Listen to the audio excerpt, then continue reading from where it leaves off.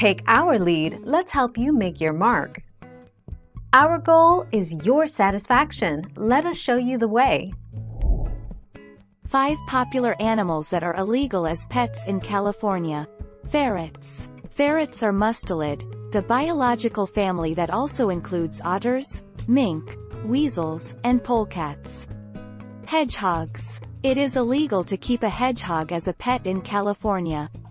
Monkeys, squirrels, gerbils.